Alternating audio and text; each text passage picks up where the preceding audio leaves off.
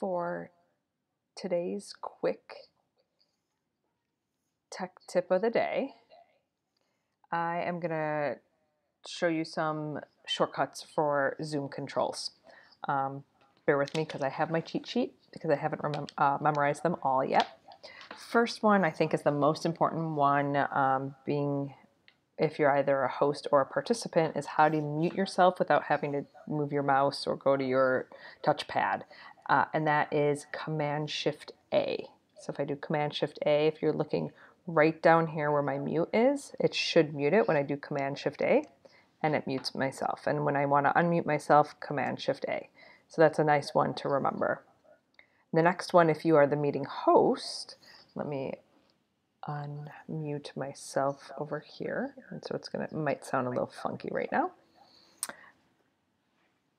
You want to, in order to mute everybody, you're going to do Command Control M. And that's muting everybody except for the host.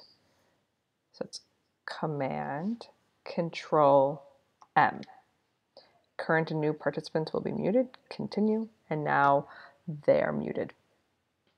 These are just for um, Mac right now, and I will show you where to find them for PCs and for the uh, iOS and Android devices.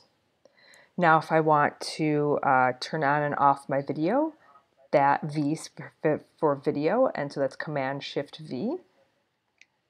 And so now I've turned off my video and turned it back on.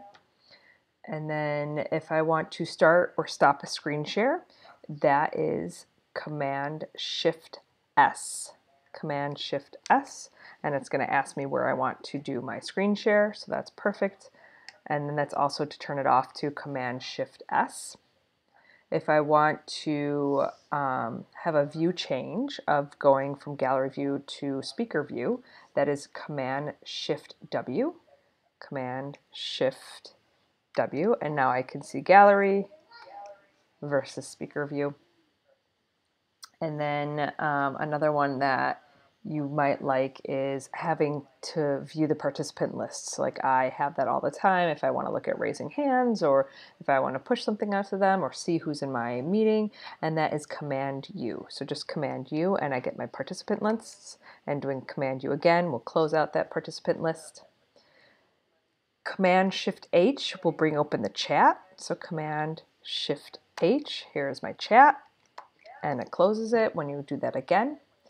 I'm not in full screen. You see that I'm not in full screen because right here.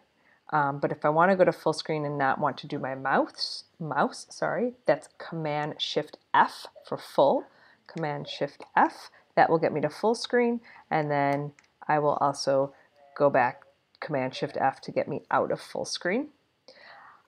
I always like my meeting controls down here, but sometimes when I'm screen sharing or if I need to see everybody and I want to minimize those meeting controls, this is a longer one.